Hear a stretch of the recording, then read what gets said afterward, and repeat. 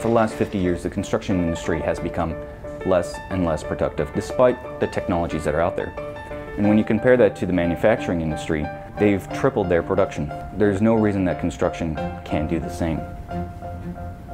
And over my years in the industry, I've been pretty fed up that I stand on the 10th floor of a 20 story building and going, how did we get here? Why have we got so many errors? Why is there so many compounding issues that we don't fix?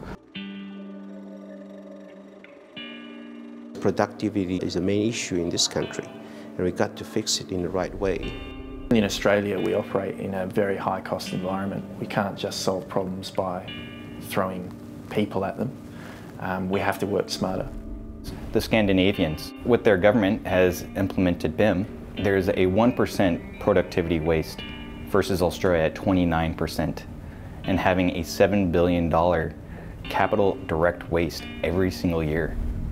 100 years ago, we were using pen and paper. You jump up 50 years, we're using typewriters. Another 25, we're using computers and emails. Well, now we're at another stage. It's called BIM, Building Information Modeling. The interoperability between software platforms is highly challenging. The different platforms can actually begin to speak to each other. Through IFC, we use ArchiCAD, we use Revit, likely have Tekla, we would be utilising IFC as our primary exchange and validation format. I was sceptical, um, uh, to be honest I, I, thought it was nuts and a year later um, I'm, I'm happy to, to admit that I've been proven wrong. And I think we're proving it on this project where we're using a vast array of tools and they're all we're integrating and working together very, very tightly. You can only do that with an open format. 480 Hay Street is a multi-story office tower along with a roughly 360 room five-star hotel. Perth is really starting to show on the map as a center of excellence, a mecca for technology and innovative techniques. It's one of the most isolated cities in the world. It's also one of the most wealthiest that has more millionaires per capita than anywhere else. And investors have come in and they're pouring a lot of money into innovative technologies.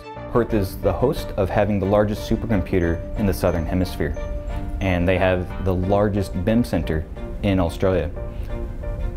Our especial interest in this 480 project is how to use BIM to materialize the lean theory into the practical world.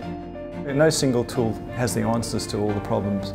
So we're looking for the best of breed tools to come together and look how they can talk to each other seamlessly. Now, having open source allows everyone to engage collaboratively in that platform. We can carry multiple sets of design alternatives, which allow us to do value engineering that no one else has really been able to do. So our project leaders are now involved in a way that they've never been involved before. Now there's no more Chinese whispers. They're getting the direct information that they need.